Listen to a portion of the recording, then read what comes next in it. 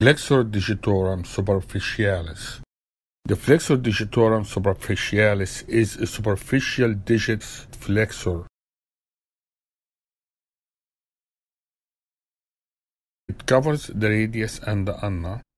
It covers the profundus.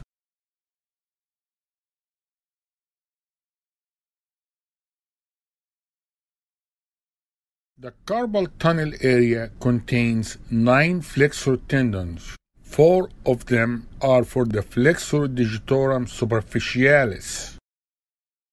The flexor digitorum superficialis for the ring and the middle fingers lies volar to the index and the small fingers. The flexor digitorum superficialis tendon of the fifth finger may not be present in all individuals. Origin Two heads, a humeral-ulnar head and radial head.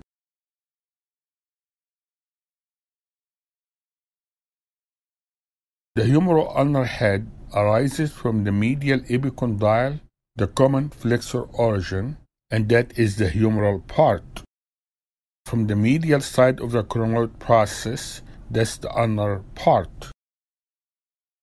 The radial head arises from the oblique upper third of the anterior border of the radius. It's called anterior oblique line. The muscle divides into four tendons to the medial four fingers. The muscle separates and creates a tunnel for the profundus to go through. At the proximal third of the proximal phalanx, the flexor digitorum superficialis splits to pass around the profundus. The two slips of the superficialis rotate 180 degrees around the profundus.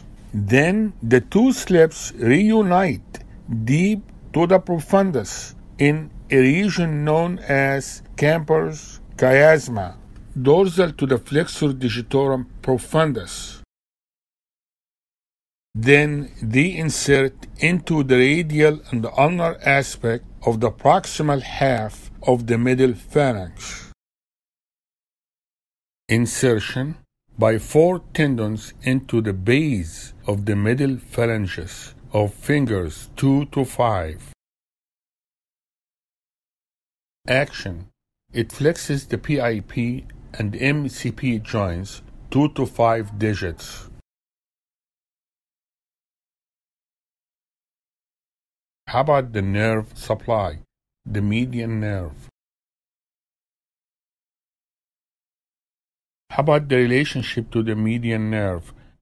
After the median nerve passes between the two heads of the pronator teres muscle, it passes deep to the flexor digitorum superficialis muscle, and it appears superficial approximately 2 inches from the wrist joint.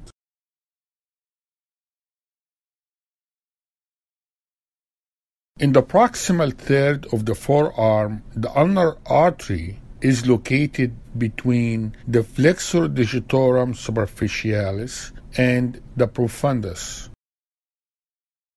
How do you test for the flexor digitorum superficialis? The patient will attempt to flex the involved finger at the PIP joint with or without resistance while the remaining three fingers are held fully extended in order to eliminate the function of the flexor digitorum profundus. How about testing for the flexor digitorum profundus? You will find the finger lies in a slight extension relative to the other fingers. Patient will have no active flexion of the DIP joint. You will extend all the joints of the finger except the DIP and then you will ask the patient to flex the DIP. If the patient can flex the DIP, then the profundus is intact. The indication for reimplantation of a digit involves injury distal to the insertion of the flexor digitorum superficialis, means zone 1. One of the contraindications to reimplantation of a digit is a single digit proximal to the flexor digitorum superficialis insertion, zone 2. You can see in this diagram the different flexor tendon injury zones. Thank you very much. I hope that was helpful.